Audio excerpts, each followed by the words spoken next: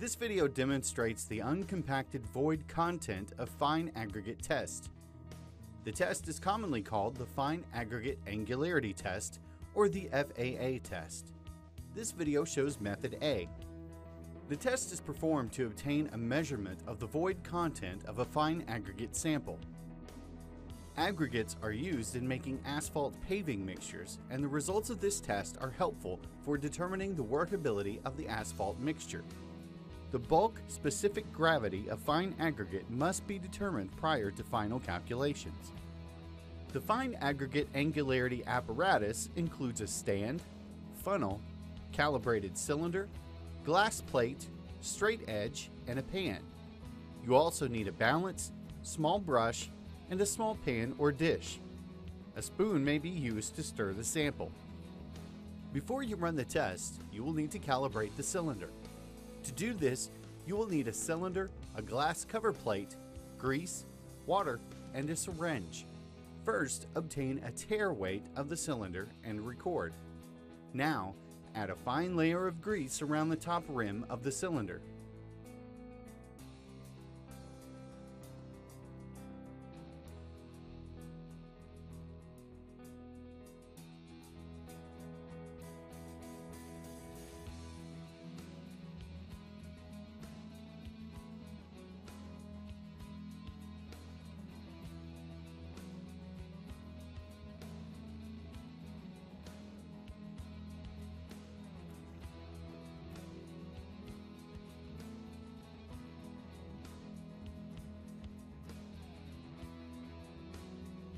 Weigh the cylinder with the grease and a glass cover plate. Record this weight. Next, obtain the volume of the cylinder using cooled, deionized boiled water with a known temperature. Add the water into the cylinder until slightly overfilled.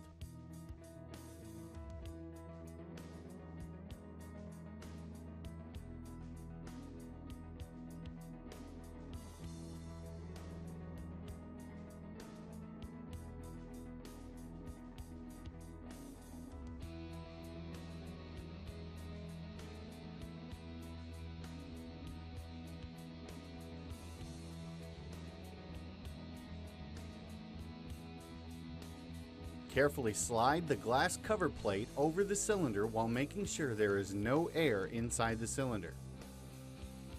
The grease that was added to the top rim of the cylinder helps the cover plate create an airtight seal.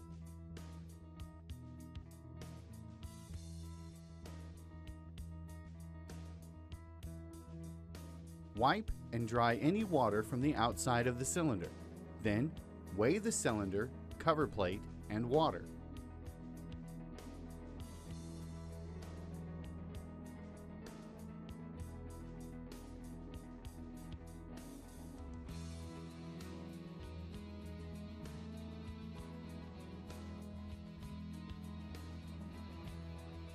Finally, weigh the cylinder and record.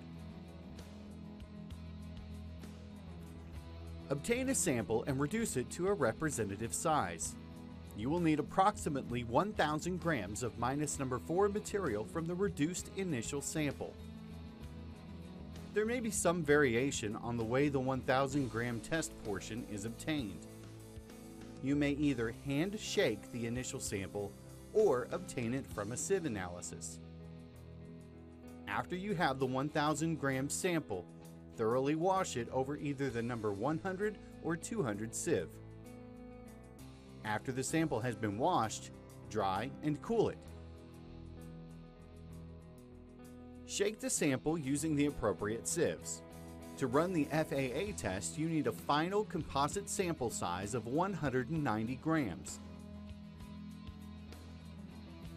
This sample is created by combining prescribed amounts of material from material on the number 16, 30, 50, and 100 sieves.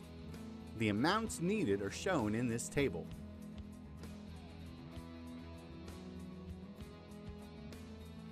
After obtaining the individual portions, combine the fractions and thoroughly mix, making sure there is no segregation in the sample.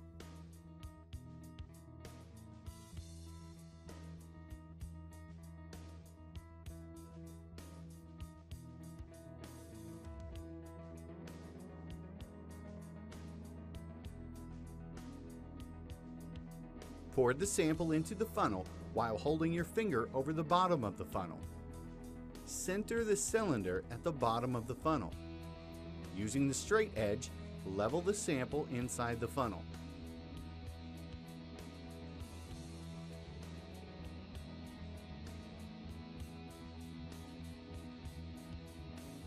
Remove your finger and allow the material to flow freely into the cylinder. Allow the cylinder to overflow. After all the material has flowed through the funnel into the cylinder, strike off the excess above the rim of the cylinder with the straight edge in a single pass. The blade must be vertical, keeping the edge horizontal and maintaining light contact with the rim of the cylinder. Tap the side of the cylinder with the straight edge. This allows material inside the cylinder to consolidate. It also helps prevent any loss of material when moving the cylinder to weigh. Brush away any loose material from the cylinder.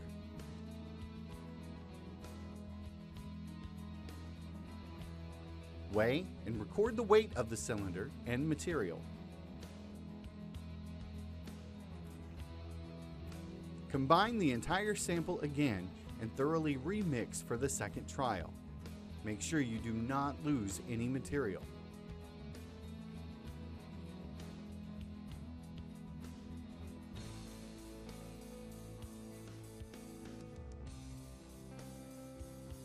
Run the test again. Calculate and then average the two test results.